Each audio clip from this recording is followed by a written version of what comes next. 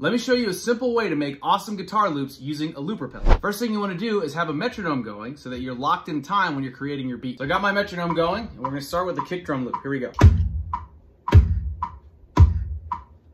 We can turn the metronome off, and we can now do the snare. Now for the snare sound, I like to do this, where I'll just kind of attack the bottom three strings with my pick. And that's it for the drums. Next thing we wanna do is just pick two chords, play them together in kind of a rhythmic fashion, and then we'll start there. So I'm gonna just do B minor and D. So it'll be like this. Now you can just solo over it.